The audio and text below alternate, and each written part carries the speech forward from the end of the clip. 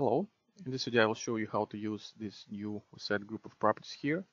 And reset allows you to reset original object transform, uh, which means position, uh, rotation, scale. It allows you to reset damage. Also, uh, this is where you can define what will happen with the object after it will be demolished, whether it will be destroyed or just deactivated. And also it allows you to reuse meshes for fragment meshes or fragments, fragment itself. So first I will show you how to work this uh, two check boxes. So for this rock I set my reset to transform and for this column I will reset damage. Here you can see I have my damage enabled and I'm collecting it by the collision. So I hit start, nothing special. Uh, this column got some damage and I can reset it. And for this rock I will reset and it will goes back to its original position. So in this way, you can uh, kind of reset your object to its original position and all the properties, including all private properties, uh, in case you loaded your scene or maybe you need to reset your object for some other reason. Uh, also, obviously, you can reset uh, everything using reset rigid method. This is how this button works here. And well, that was easy. Uh, next example shows you post demolition properties. So this is where we can define what will happen with object. For this rock, I set it to destroy with delay, and this is delay in seconds, uh, which you can use to define how many, how much time you want to stay inside scene deactivated. In case you will need to get some information from demolished object, like uh, get fragments created or collision point, etc.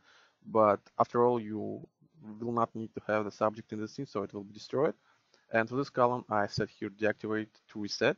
In this case, it will be deactivated and well, it will stay in scene forever. But in this case, you will be able to reset it back, which means activate it back and uh, demolish it again. So uh, let me show you. So here you can see my rock. I will select and I already pre-cached some fragments here. You can see some meshes. So now it will be demolished. And here you can see this deactivated rock destroy object. And after five seconds, it will be destroyed. But here you can see this column, it stay inside scene, deactivated. So at some point I may need, I want, if I want, I can just hit reset. I will get back. Uh, and as you can see, it removed all its fragments. So this is also, I will show you uh, this group of properties, how to use fragments. So this is how post-demolition uh, group of properties works. And now finally, I will show you how to reuse uh, meshes and fragments. And I guess this is the most useful um, feature of this uh, reset uh, group of properties. So here I have three examples, and as you can see, I will demolish this column and all these references. So there are three options here for mesh. First one is destroy. So uh, after object will be demolished, it will uh, cache some fragments. Then it will create fragments using this cached meshes. And this, if you will set here destroy and reset object, it will erase all cached meshes. So next time object will be demolished again, it will have to fragment object again. Uh, so this is the slowest way, but in this case, you can, let's say, if you want to uh, fragment the object at some point, and next time it could be fragmented at some other point, you obviously will need to destroy all cached meshes because it will use the same meshes.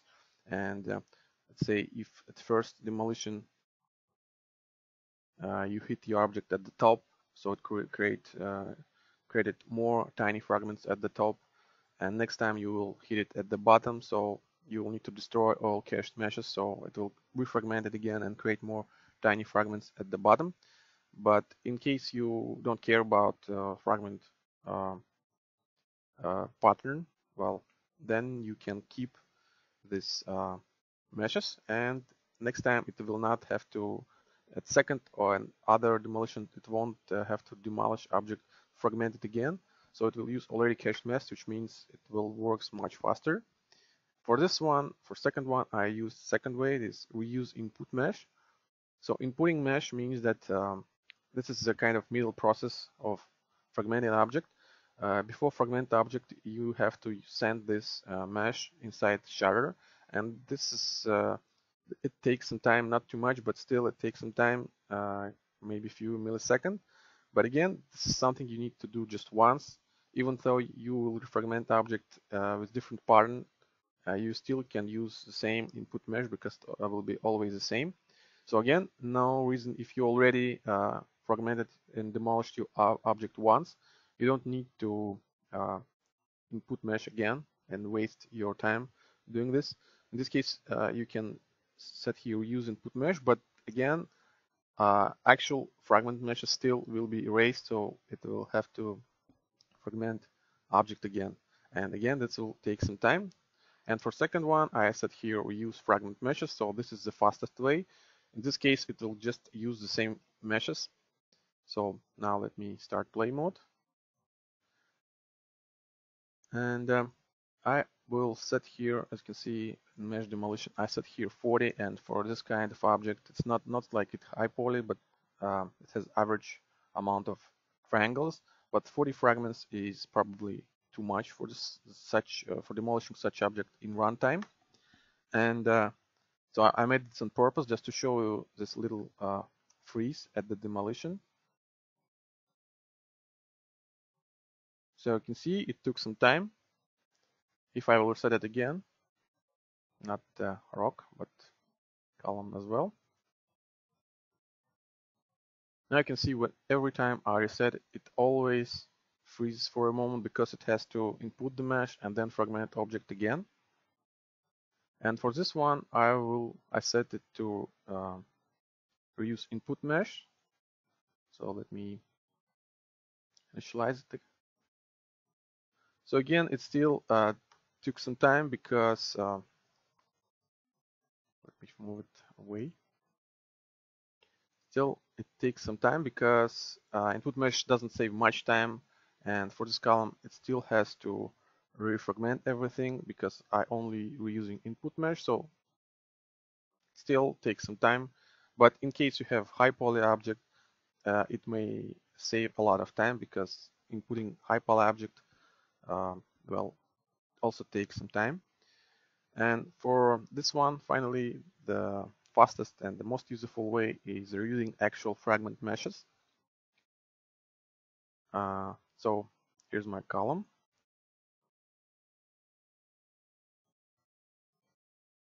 And now you can see that uh, here inside information, it doesn't show anything because it has no meshes, it has no fragments yet.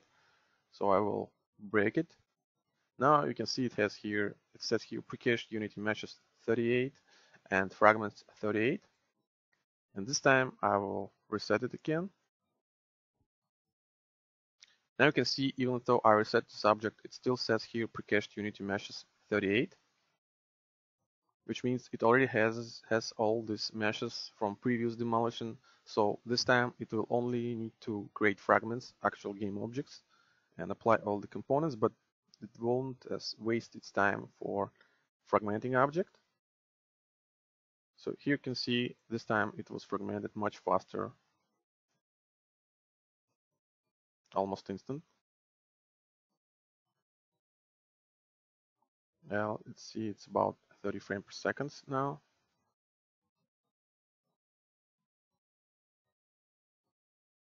And again, just to show you the difference, uh, will use this one.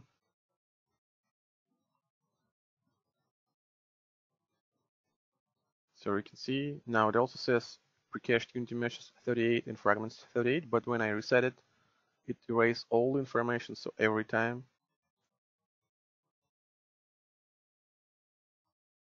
oh seems like I'm demolishing rock as well which I don't want to do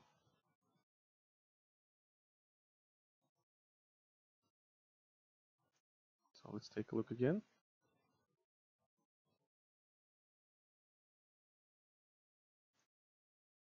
It took some time here. You see you saw that it uh, frame per second dropped to 15 and next time I reset it again it's dropping almost to 15 frames which is not good. So every time it takes this uh, additional time to fragment. And for this example takes it this time for the first demolition but every next demolition works fine also uh, keep in mind that for high poly object you can use uh, this runtime caching. So I can enable it and set here, set here, let's say by fragments per frame and maybe create by three fragments every frame, maybe two. So in this way you can demolish object first time using runtime caching. So again, it will not, it, will, it won't, uh, frame per second won't drop too much.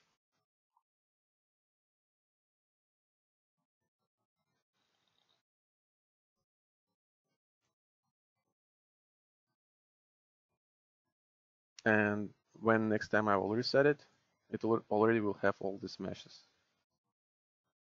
So in this way, you can demolish object only once and then reuse these meshes.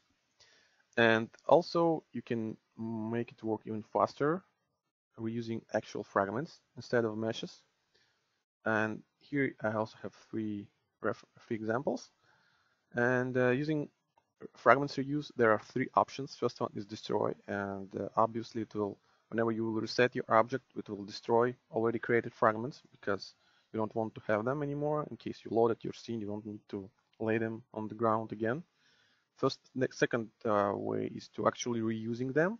In this way, uh, in this case, they also will be removed because they will be reused. And third way is preserve. In this case, in this case you can uh, use the same object, but all its fragments will be will stay in scene after reset. So uh, when this object will be demolished, it will have to create all fragments again. But in case you have reuse fragment meshes uh, feature on, it will Again, it will be much faster. It only will have to create objects, just like in previous example. So again, let me show you how this works. So first one is destroy.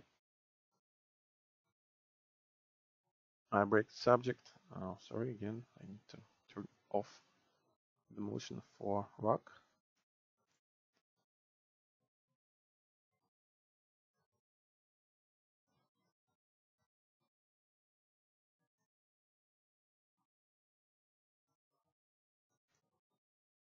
So now I'll reset my column and it will destroy all the fragments and get back. Actually, let me reset this rock. As you can see, this time it are using meshes because I have the here mesh. Well, for this column I have reuse meshes. So every time I reset, I don't uh, spending time on fragmenting object. Uh, but this example just shows you that all these fragments they just uh, they were destroyed and new fragments uh, were created every time I reset and demolish object again.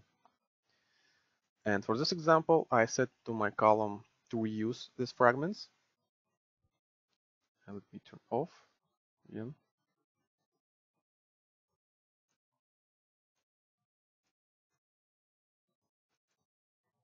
So again, it took some time to fragment it the first time. Now I will reset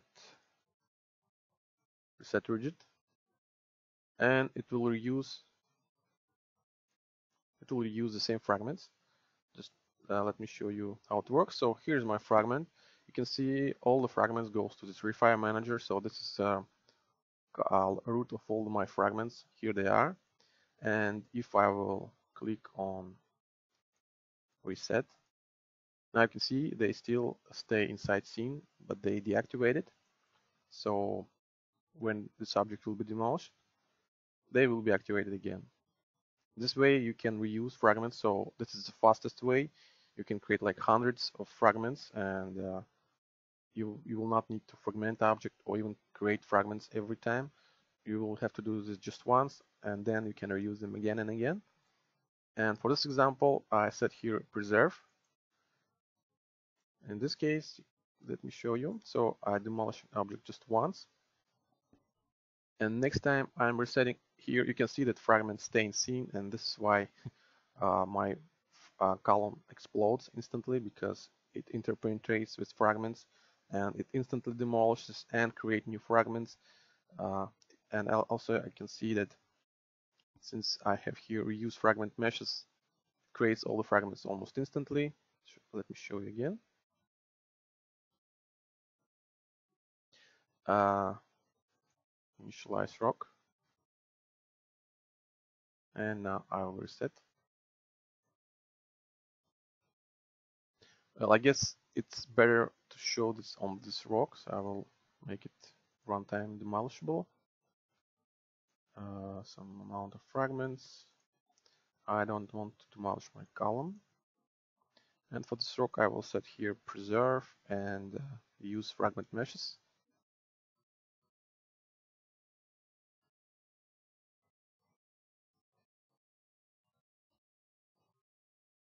So now I will reset and you can see all the fragments stay inside scene. But my column, we're using meshes from first fragmentation.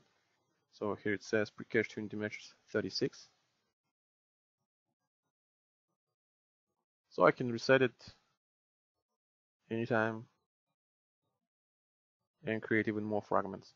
This way you can uh, kind of uh, simulate like it, there are a lot of objects uh, demolishing all the time, but uh, you actually will use just one object. And it's probably a good idea to use this uh, with fading. So fading, let me turn on like scale down so it will fade quickly maybe a couple of seconds here, a couple of seconds here.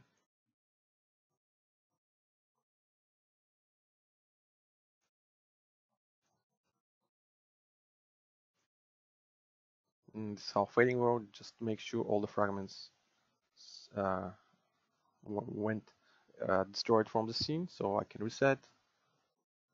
And reset again. And reset again. And so on.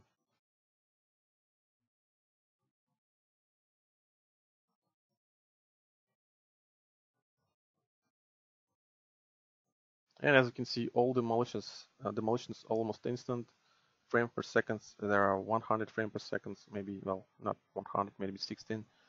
But in this way, you can create kind of effect when something dropping and uh, getting demolished. Although it will be just uh, one object, the same object, and uh, it will, be fragmented only once at first demolition, and after that, after that, it will only use already cached meshes. Uh, also, just in case, I want to mention that uh, this reset of fragments and meshes, it works not only with runtime, you also can use all this awake precache or awake fragment and other uh, demolition types.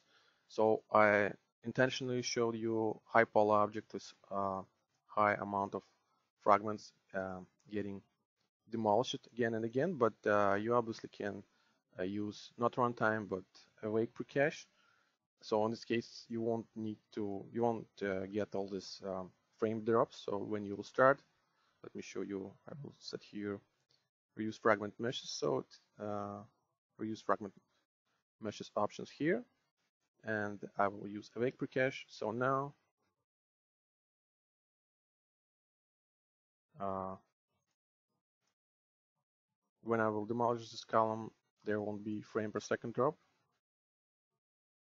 because all the meshes already were pre-cached. You can see, but now I also create fragments and again I can reset it and use the same meshes from uh, which, uh, meshes which I got in Wake. So every demolition type works with uh, resetting object. Uh, I guess that, that was something I have to mention. So that was reuse, uh, I mean reset. Uh, I guess that will be helpful for a lot of people. Thank you for watching.